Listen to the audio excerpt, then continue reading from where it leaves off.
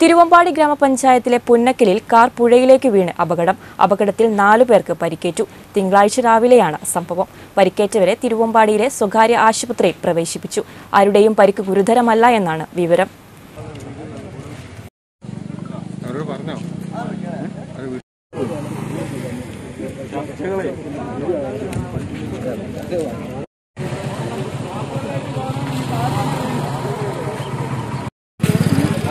ആ